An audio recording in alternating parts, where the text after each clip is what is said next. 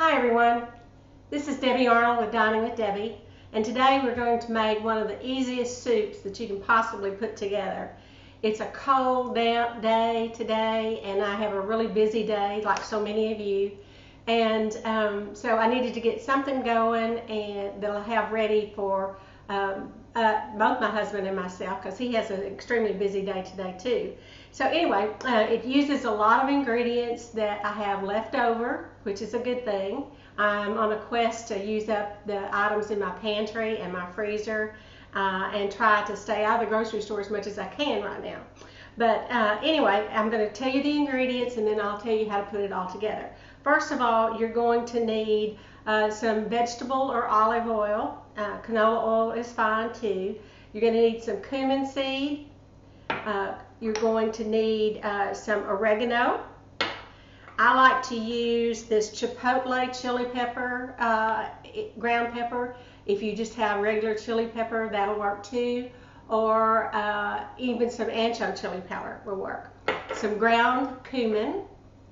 Um, a large cube of uh, chicken bouillon, two cans of Rotel, uh, tomatoes and green peppers. Now I'm using the Mexican variety this time. Sometimes I'll use hot, sometimes I'll use the regular. Uh, even though we like it hot, it can be get pretty spicy if you use two cans in the soup. So I recommend the Mexican. And I don't often do this, but I have on hand some cream of chicken soup and some cream of mushroom soup, and we're going to use those. And uh, we need a box, a 32 ounce box of chicken broth or chicken stock. This is not typically the brand that I would use, but it's going to work well in this soup. Uh, it happens to be what was available. You need a one clove of garlic, and I am using today, because it's in my freezer, a package of Pictsweet seasoning blend. I keep this stuff in my freezer all the time and it just comes in handy. I use it all the time when I make, oh, um, lots of soups for one thing, but I use it in chicken pot pie a lot and other things like that too. And uh, it just saves you from having to chop those things up. If you have an onion and a bell pepper, chop those up. It's one onion and one bell pepper chopped and then I have some leftover chicken. Leftover turkey would work well in this too. Uh, I think I got this idea uh, from Southern Living some time ago, probably. Uh, and I, it flavors or mimics King Ranch chicken if you've ever had that casserole. So that's what we call it, King Ranch chicken soup and that may have been what Southern Living called it too. But anyway, all right, I'll have the complete recipe and the list of ingredients on uh, at the end of this video for you as well. Okay, um, so we're going to start, and, and, I'm using the Instant Pot today. It's not an Instant Pot recipe necessarily, but I'm going to be using the slow cooker uh, version or uh, part of this uh, the Instant Pot. We're going to start by sauteing on medium heat the uh, seasoning blend and the cumin. I really like to, whenever I use cumin seed, I really like to toast it because it just brings out so much more of the flavor on it. So I'm going to add in some, it's probably about, oh, a tablespoon or two of the oil to the bottom of the slow cooker or Instant Pot. Uh, and you can make this in a Dutch oven on the countertop, uh, on the stove top if you prefer. All right, I'm going to sprinkle in about a half to three quarters of a teaspoon of cumin seed. And you can tell immediately when it's starting to toast because you'll smell it. Um, if you don't happen to have cumin seed, that's okay. I do think it really makes a difference in the flavor. You'll have the cumin that you'll use uh, a little bit later too. All right, so we're letting that toast and then we're going to add in our Pictsweet seasoning blend which is onions and celery and uh, bell peppers.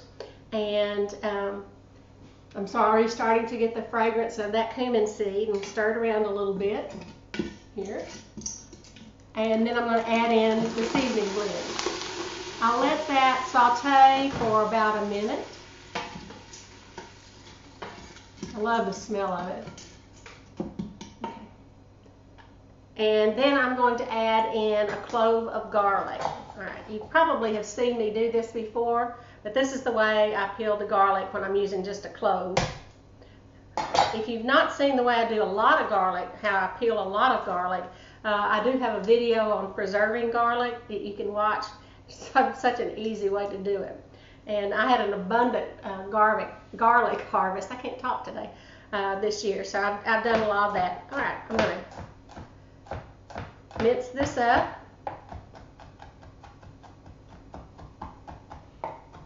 I wish you could smell the onion and the cumin already in the pot.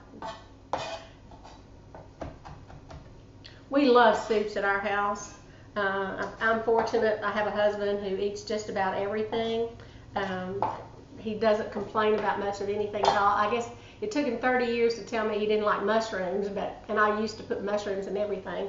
Uh, but he's come around to some of that too, and uh, so I, I try to, you know, I try to observe the fact that there may be a couple of things that he does not care for, but he's really good about eating anything. He's certainly very good about eating leftovers, and that's a good thing at our house. All right, so we have been sauteing our onion mixture. I want to get that just a little bit more. Um, you you can use if you have five cups of chicken stock already homemade or on hand. Go ahead and use that. I don't like to open a whole box just for a cup of chicken stock, so that's why I'm using the chicken bouillon. So I'll use a cup of water and add this chicken bouillon to the soup uh, after I've added in that water.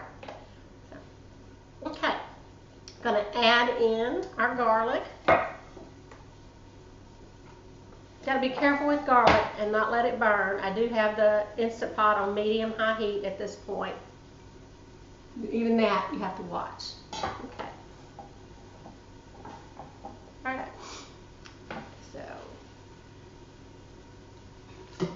What kind of soups do you like? I have a wide variety of soups on my blog. If you uh, have a chance and want to go look at those, it's diningwithdebbie.net. Um, like I said, we are big soup eaters at our house, uh, and it's prob- probably a week doesn't go by that I don't make some kind of soup to have on hand, especially during fall and winter months too. But even in the summer, I do. Okay, now we're going to add in our seasonings, and it's a teaspoon of each, a teaspoon of oregano. And I know from experience that this little cup in my hand right here is a teaspoon. If you want to measure it out, please feel free to do so. All right, before you add in any uh, herb or any uh, spice, take that and rub it around and release the oils that are in those, and it will bring out the flavor so much better. Okay. So that's our oregano. And that, this was oregano leaves, by the way. You could use ground oregano if you want to. Uh, you might alter the amount just a little bit. All right, and a teaspoon of the chipotle chili pepper. And be careful with that. If you're sensitive, uh, sensitive to spice or heat, you may want to decrease that just a little bit. We're spicy people at this house. All right. And I love this stuff. If you've not ever used it before, it's uh, just ground chipotle chili pepper and a teaspoon of the cumin. I use lots of cumin at my house. Some people don't like the flavor of it. I know. All right, got that.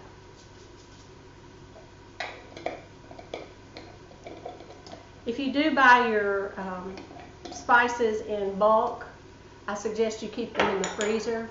Um, Otherwise, they'll get too old unless you do a whole lot of major cooking. Uh, they'll lose their flavor. So, all right, getting all those stirred up. Now we're going to add in our chicken broth. Uh, the amount of chicken I have is probably equal to mm, almost a whole chicken. It's just a, uh, it's about a quart size bag that I had shredded up in the freezer. You can have this ready in no time. It can be ready in, you know, less than 30 minutes, certainly, if you needed it to be. I'm just going to put it on the low on um, the slow cooker and let it just sit and simmer all day until we get ready for it. All right, now I'm going to go ahead and drop in the chicken bouillon and need to add in a cup of water.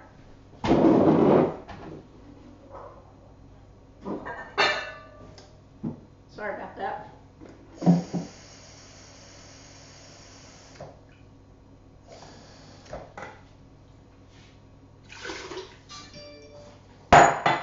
Phone going off over there too. All right, now we're going to add in our tomatoes and chili peppers.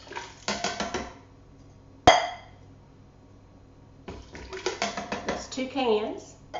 And then in our soups. One thing that uh, you're going to add right at the end too is um, tortilla strips. If you don't have tortilla strips, you can use some crushed up Fritos or tortilla chips. Um, that just adds that kind of authentic Mexican flavor to it, I think. If you don't have those, it's not the end of the world. It does add a little bit of extra. I used um, crushed up tortilla chips and crushed up or crushed up Fritos in my chili. This is kind of a thickener. And here again, if you don't have a can of mushroom soup and you have two cans of chicken, uh, cream of chicken soup, use that. This is a very flexible soup. I'm going to stir that up. I'm going to let that simmer for a little while before I add in my chicken because the chicken is already cooked. It doesn't need to sit there and cook all day. Let that get really uh, nice and hot and then put in the chicken and the tortilla strips or the Fritos, crushed up Fritos, whatever I happen to have on hand. And then we'll plate this up and it will be a bowl full of deliciousness. Again, uh, this is Debbie Arnold with diningwithdebbie.net and we are making up a big old pot of, of what I, we're going to call King Ranch chicken today. Thanks for joining me.